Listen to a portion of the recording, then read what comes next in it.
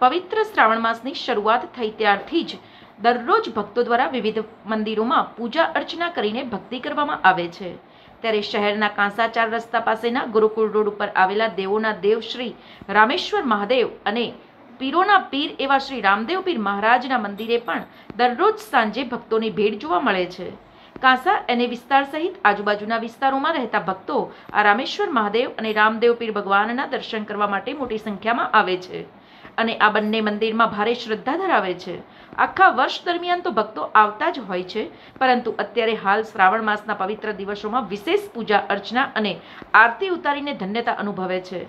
છેલ્લા ઘણા સમયથી ભગવાન શ્રી ભોળાનાથના આ રામેશ્વર મહાદેવના મંદિરનો જીર્ણોદ્ધાર ચાલી રહ્યો છે અને જેના શિલાન્યાસ વિધિ પ્રસંગે આ વિસ્તારના ધારાસભ્ય અને ગુજરાત રાજ્યના આરોગ્ય મંત્રી શ્રી ઋષિકેશભાઈ પટેલ હાજર રહ્યા હતા.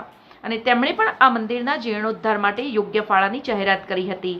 જો કે આજે પણ આ મંદિરના વ્યવસ્થાપકો અને સભ્યો યોગ્ય દાન ભેટ મળે, તો આ મહાદેવના મંદિરનું કામકાજ ઝડપથી પૂર્ણ થાય તેવી આશા રાખીને બેઠા છે. ખરેખર, શહેરના આ વિકસિત વિસ્તારમાં આવું ભવ્ય મંદિર બની રહ્યું હોય, તો શિવભક્તોએ યથાશક્તિ દાન કરવું જોઈએ. સમાચાર અને જાહેરાત માટે સંપર્ક કરો. પ્રકાશ સોની, ચોરાણું બસો ચોરાણું, પાંત્રીસ જીરો ચોત્રીસ.